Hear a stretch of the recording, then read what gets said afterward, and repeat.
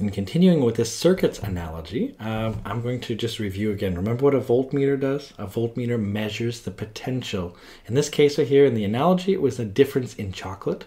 In real life, it measures a difference in electric potential. So we call that one volt. And remember what the ammeter does, it's connected directly in the series, whereas um, the voltmeter is connected in parallel. Let's now continue this to add some more devices to it. So we've talked about the rules of the game before, so let's add now what I would, uh, well, in the analogy, I would call them, I'll just bring in some chairs. Not call them chairs, they are chairs. I'd bring in some chairs, so that's what I've tried to draw here, in my crappy drawing. Can you see I've got a, you can see I'm not an artist. No one's ever invited me to art school. You can see why. You can see a little chair right here. So what I would say is that if you're going to, you know, cross something like this here, you'd have to, you know, eat chocolate in order to cross a chair. I don't know if that makes sense. So before, when we didn't have anywhere to cross, you would just come from the battery and just sort of eat some chocolate on your way out. But in this case right here, if we've got the chair there, I think it, or I hope it makes sense to you that if I was going to walk across here, can you see you'd eat your chocolate when you pass over the chair? So in this case right here, chairs are going to represent resistors because chairs are going to cost you chocolate. Resistors are going to cost you potential. In other words, V you know, like if it's a one volt. So let's just say again, if at the battery I gain one volt, in other words, I gain one piece of chocolate, then I have to use up one piece of chocolate. So in this case, I'm going to draw a resistor as a little square like this with an R. And that means that it's going to cost me maybe, uh, well, in this case, if it's one volt here, I'm going to eat one volt of potential here. So now I'm mixing the analogy I know in the real circuits, but this is how I like to do it. So if you look at it, you gain one, a piece of chocolate here, you gain one volt. That means as you cross the chair there, you lose one volt. So there really is sort of a gain and a loss. And I think now we can start actually looking at a series circuit. So we're going to define this. First of all, we're going to define uh, resistors. So resistors themselves, um, we're going to say that they have a unit of ohms. So that's why uh, resistors, they're actually, that's maybe a key thing right here. We'll just say, so the units of resistance, so we'll say R equals a resistance. And this is measured in a unit we call ohms. It looks like, uh, well, this is a Greek capital omega. Uh, so this is the unit we use. So it's called uh, resistance. So this is the value of this. In the analogy, it would represent like the height of the chair, if that makes any sense. So that way, as I'm passing along, maybe I have two equal-sized chairs. So what I want to do now is, uh, this is given by the way, so you're given that the total resistance, what that means is that the equivalent resistance here is given by just the sum of all the different resistances. So um, this is really important. First of all, you get this on your data booklet, so you don't have to memorize this. Series circuits, the equivalent resistances is just add up all the resistors. So that's what we have here. So imagine now I've got real circuits here, but I'm going to still use the analogy to help me. Can you imagine here, this is a battery, imagine it's a one volt battery. So it's like, you know, you get one piece of chocolate from the analogy here. So as your coulomb of charge, you pass by here and everyone has to follow this circuit, right? Everyone has to go around. You don't have a choice. So as you go around here, imagine you had two equal sized resistors. In other words, two equal sized chairs. So wherein before I was, you know, crossing here, it was clear if I gained one volt, you know, if I gained one volt, sorry, here, I would then lose one volt. What happens when I have two chairs? If they were equal height chairs here, does it make sense what I would do? I mean, most people have intuition here. Think about it. If you gain one volt here, you know, uh, so one piece of chocolate, let's just say, how much chocolate are you going to eat in order to get over both chairs? And most people know it's half. Wouldn't you eat half here and half here?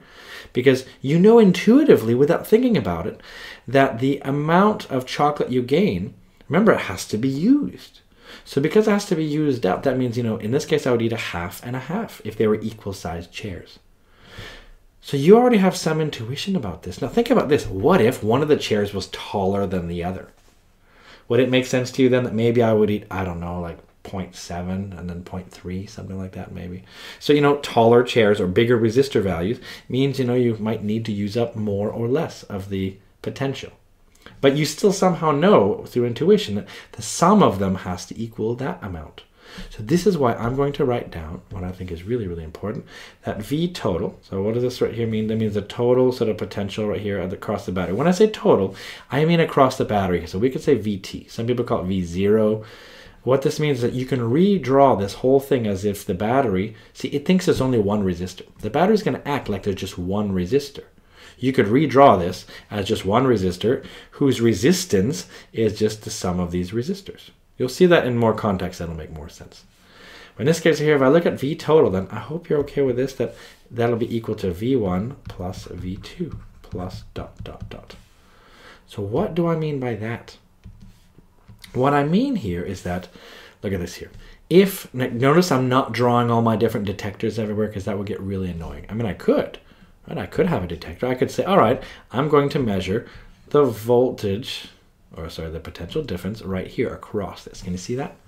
So remember, if they were equal sized chairs, can you see here, I would measure a drop in one uh, half of a piece of chocolate. And over here, I would measure a drop of one half of a piece of chocolate. So you have to imagine your little voltmeter sitting across all these things. And if over here, it would measure V1. If I placed it here, see that? It would measure V2 and so on. So this here would be V2, this would be V1, this here would be VT, would be measuring it across the battery like this. Just to show you how it would be plugged in. Of course, that makes the circuit messier. That's why I'm trying not to mess it up. Of course, I have, so it's a bit ironic. So do you see how if I had a whole bunch of them, I would just have to add those values up? So maybe I had three resistors that are equal size. And can you see you do like one third plus a third plus a third? Because you know it kind of has to equal that whole amount. So you already have intuition. We have another one for current as well. Imagine I put an ammeter right here, right by the battery. Can you see that? Right by the battery if I put one there. Imagine how many coulombs per second I'm counting here. Or in other words, students per second in the analogy. Imagine I compare it to right beside R2. I could call that I2 right here. And maybe right beside R1, I could call that I1. And can you see how the number of students per second wouldn't really change? I'm not allowing students to separate and go different paths. So in this case right here, I hope you can see that my IT, in other words, the total current here, will be equal to just the current in, you know, current near I1 plus uh, equals, sorry, the current in I2 equals dot, dot, dot. In other words, as many different currents as I have. Uh, next, then, I hope this is going to make even more sense. Then we can go a little bit faster, maybe. Parallel circuits. Uh, first of all, we have an equivalent resistance here. So the battery is going to act as if there's one resistor, but it works a little bit differently. This one's given on your data booklet again, because 1 over R total is 1 over R1 plus 1 over R2. So that's how you deal with parallel resistors.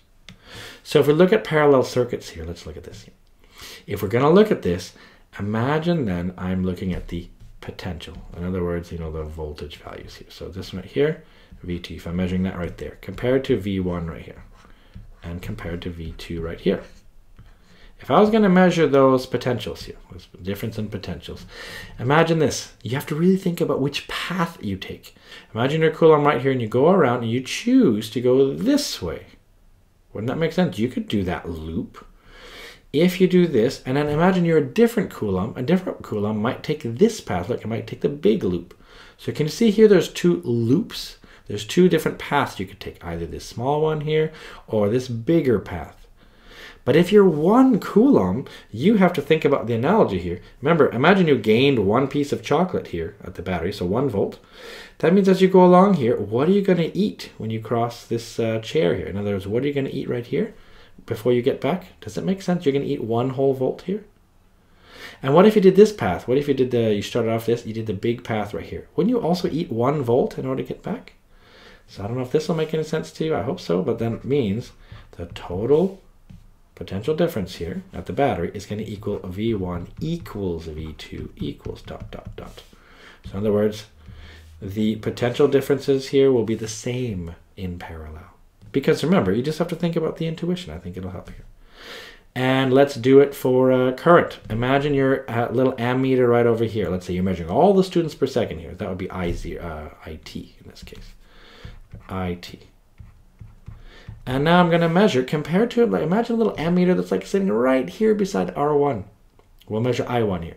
Does it make sense we don't have so many students per second? Because some of the students per second might have gone this way. Some of the students per second are this way. So if you're measuring right here beside R1, you're not getting all the people per second. Not compared to this. But can you imagine that the people per second here plus the people per second in R2 here, so I2, those would be equal to this. So in this case, that's why these ones are here, they add. So the currents add. So you somehow need to be able to have some intuition here. I think that would really, really help.